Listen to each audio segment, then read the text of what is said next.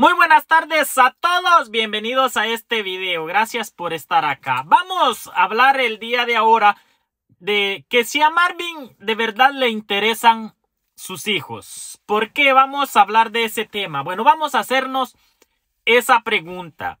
Porque como pudieron ver, Marvin pues tenía en sus manos, vamos a decir así, tenía en sus manos la cantidad de 10 mil quetzales. Pero bueno, debido a que muchas personas se preguntan por qué Marvin no le ha llevado algo a sus niños de ese dinero.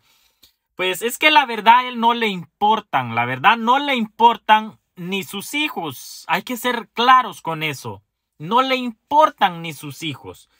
Él está gastándose el dinero en hacer lo que quiera. Sara, en eso se está gastando el dinero.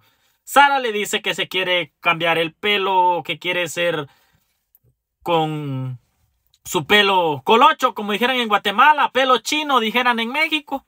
Pues él se lo hace. Quiera lo que quiera, pues se lo hace. No, no sé por qué, pero lo hace.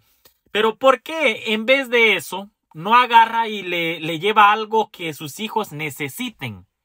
Que sus hijos necesiten realmente. Pero bueno, como dicen padres irresponsables, tengan o no tengan dinero, para los hijos es lo mismo. Los hijos siguen en lo mismo. A lo mejor a veces deseando algo que quieren y no pueden tenerlo. Pero bueno, la gente no, no sé, no se ponen el, la mano en el corazón ni por sus hijos. Imagínense cómo fueran con otra gente. Me imagino que peor peor.